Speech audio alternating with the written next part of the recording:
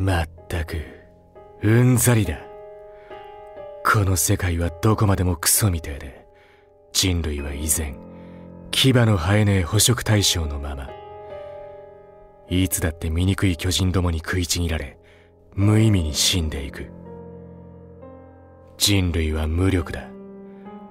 初めて巨人に勝利した時トロストクの壁を岩で塞いだ時だって巨人エレンの力があってこそだ。弱い奴はすぐに死ぬ。どれだけ力を尽くそうとそんなことは関係ねえ。いずれ人類全員の誰もが巨人のくっせえ口の中でこれ以上ないほど最悪の気分を味わいながらその惨めな人生を終えちまうのかもしれない。数年前俺は気づいた。この壁の中はドブの匂いで満たされてる。100年以上ずっと。それが現状だ。生まれた時から臭え空気を吸ってたせいでゴミだめの中で地を這うように生きるしかなかったせいでそんなのは普通だと思ってた。だが初めて壁の外に出た時俺は自分が何も知らなかったということを知った。身に染みて嫌ってくらいにな壁の外は巨人どもがうろつく地獄みてえな世界だったがそこで吸った空気は壁の中とは全くの別物だった。俺は知った。そこには自由があるってこと。を壁の中では絶対に手にすることのできない。自由ってもんがあること。をだから俺は選んだ。巨人どもを殺し続けること。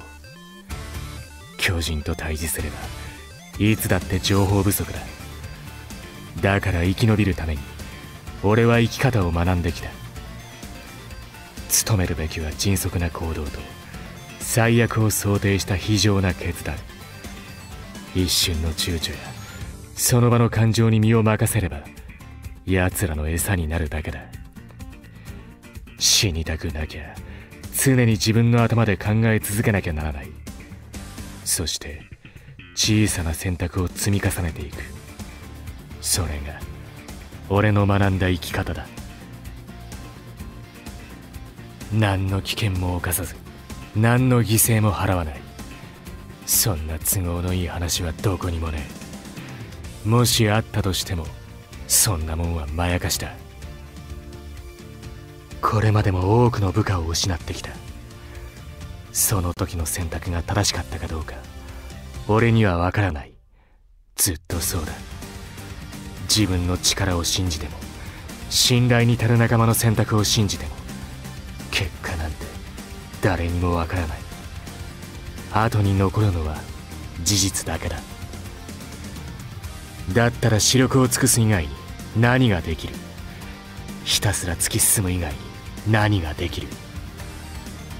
もし別の選択をしていればなんて過ぎ去った過去をあれこれ考えてる暇があったら一体でも多くの巨人を殺す。ある時ある瞬間に突然バカみてえな力が体中から湧いてきて何をどうすればいいのかがわかる。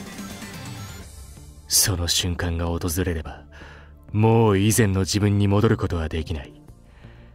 汚れた手のまんま新しい自分を受け入れ腹をくくってやるべきことをやるだけだ。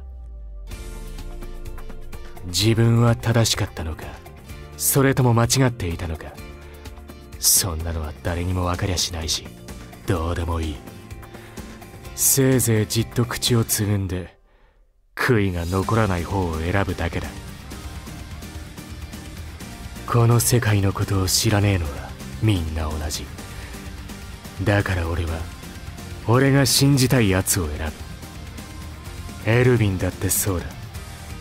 あいつが腹の底で本当は何を考えてるか。そんなことは誰にもわからねえ。だが俺は奴の判断を信じる。あるいは最悪の結果を招くかもしれないがそれを恐れず何かを選ぶことができる。あいつはそういうやつだ。だから俺はあいつについていくことを選んだ。そして戦うことを選んだ。